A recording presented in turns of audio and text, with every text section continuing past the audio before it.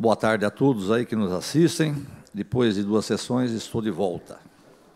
Queria primeiramente externar meus sentimentos é, à família do Laércio, presidente da Liga, né, que veio a falecer semana passada, uma pessoa muito querida, sempre trabalhou pelo esporte de Araraquara. É, também queria externar meus sentimentos à família da Carunã, uma moça terrivelmente é, é, assassinada, né?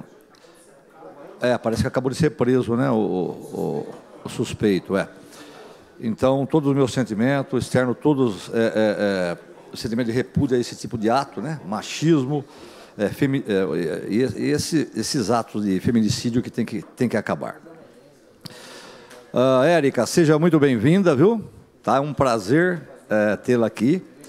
E realmente, o mês de maio não representa só uma luta do LGBT, não. É, representa uma luta contra a violência. Né? Porque eu morei em São Paulo e conheço de perto a violência que vocês sofreram lá. Tá? Hoje é, eu tenho muita, muitos amigos, amigas, pais, é, filhos que são LGBT. Pessoas amigas mesmo. E posso dizer que melhorou um pouco, mas elas sofrem ainda. Principalmente as mães LGBT porque vê uh, uh, tudo aquilo que é feito contra o filho, né? Por simplesmente ter um pensamento diferente, ser uma pessoa diferente. Então, vamos lembrar, sim, sempre dessa luta e estamos aqui para lutar junto com vocês. Viu? O substitutivo 3, que está causando polêmica aí, tá, é, vem agora é, normatizado pelo PL 322.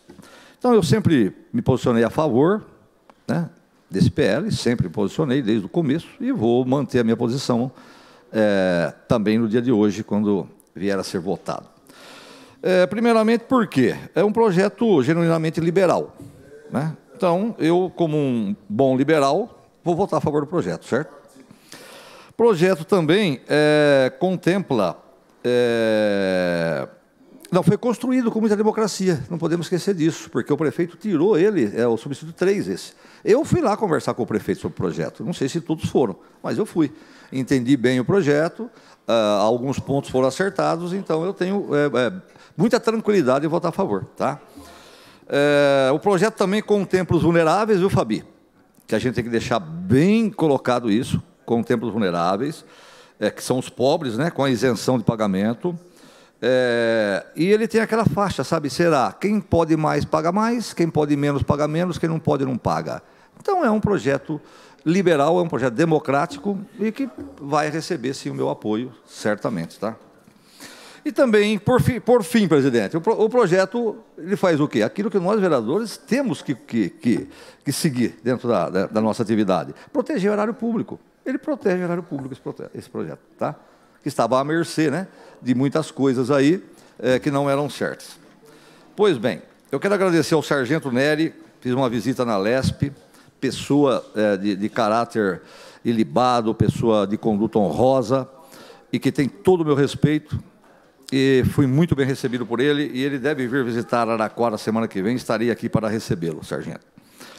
Queria também é, agradecer a deputada Janaína Pascoal, né, que é pré-candidata a senadora. Também fui muito bem recebido por ela, uma pessoa é, de uma simplicidade muito grande, uma pessoa muito humilde e que me tratou com muito carinho.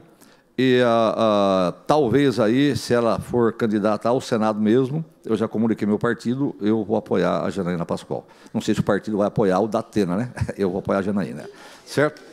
É. Bom, mas pois bem, pois bem, é o meu compromisso com ela, se ela for candidata mesmo, terá meu apoio. Uma mulher de fibra, de raça. É, Gil Diniz, que consegui a minha emenda com ele, também fui visitá-lo, não estava lá, mas deixei um abraço para ele. Mais uma vez quero agradecê-lo pela emenda que, é, que cedeu aqui para, para a Prefeitura de Araraquara para que a gente possa fazer uma academia ao ar livre ali na Praça Vitor Lacorte. Então o dinheiro deve estar para chegar e logo vamos realizar esse sonho. Quero falar dos precatórios, sabe? Eu, tô, eu sou muito questionado sobre a questão dos precatórios. Doutor Marcos, é nem como vereador, é doutor Marcos, nós vamos receber os precatórios 2022? Não, 2022, Clemente, vão, vão receber sim. Né? Porque se a gente pegar aquela ordem, certo? Alimentares, é. Então, esse, é, esse pessoal é do INSS. Esse pessoal, 2022, vai receber. Então, nós temos que torcer para receber em 2022, nós temos que rezar para receber em 2023, porque 2023 eu acho que não vem, não. É. Mas 2022 eu creio que até o final do ano é, esses precatórios vão ser pagos, tá? É, eu queria, gente, isso é um, um sonho meu, né? É, que não existissem mais bandeiras que separassem quintais, né? Nós somos um planeta só, nós somos todos irmãos e nós deveríamos viver sem bandeiras. E outro sonho meu era que não existe bandeira política, certo?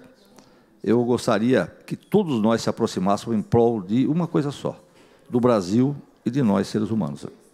Né? Chegássemos ao respeito é, e à consideração que o país merece e que nós merecemos.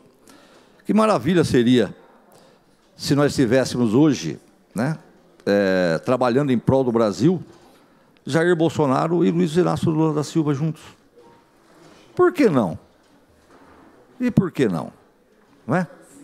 Por que essa guerra, sendo que as duas pessoas querem bem o país, né? querem bem a nação? Ora, era só se aproximar, conversar, dialogar, construir, que talvez nós teríamos um país melhor. Obrigado a todos.